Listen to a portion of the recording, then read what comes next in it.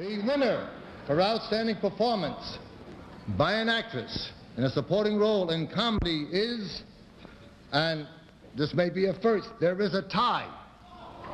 There is a tie. Valerie Harper, The Mary Tyler Moore Show, and Sally Struthers, all in the family.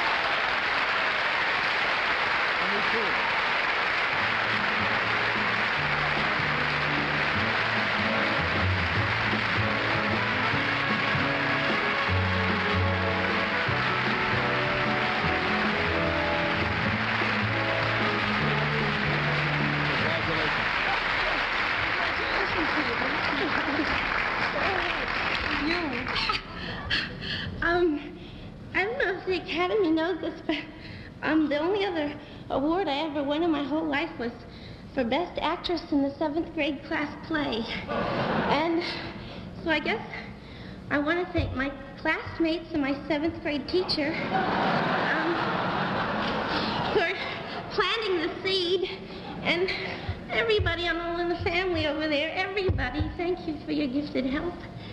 And for my mother, Margaret Caroline Struthers, she's in the hospital now, but I heard they woke her up to watch this.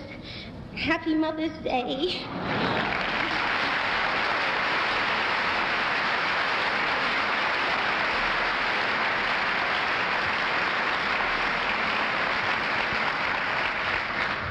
This is a marvelous thrill, but I'm crying from Eddie's speech.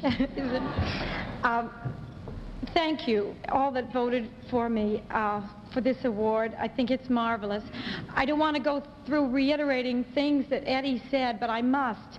Um, Jim Brooks and Allan Burns created Rhoda Morgenstern long before I ever got a script. And they, they are so good. I can't even attempt to describe it, the way they work the way their blood goes in those scripts. This goes for Lorenzo Music and, and Dave Davis as well. And besides Treva, Marty, and Susan, there's Steve Pritzker. Uh, I just can't thank anybody that ever writes scripts for our show. Are wonderful. And my darling baby, Cloris, is sitting there crying with joy for me and for Sally. She is.